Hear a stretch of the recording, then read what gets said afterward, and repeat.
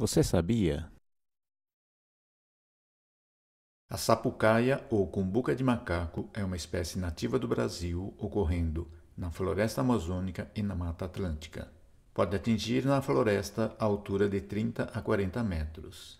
As folhas jovens, que surgem na primavera, apresentam uma coloração rosa-avermelhada, que coincide com a floração seguida da formação de frutos que, quando abertos, têm um formato característico de cumbuca contendo em seu interior as sementes ou castanhas. A sua multiplicação é feita por meio do plantio de sementes. Na floresta, a dispersão das sementes é feita pelos morcegos que se alimentam do arilo fixo às sementes.